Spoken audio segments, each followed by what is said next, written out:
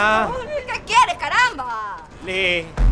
Aquí a más de uno le esperan grandes sorpresas. ¿La señorita Emilia de la Borda? Aquí más de uno tendrá que pagar por sus pecados. Llegó en muy mal estado. Al parecer la persona que lo atropelló se dio a la fuga. Miserable. Acercándose a su gran final.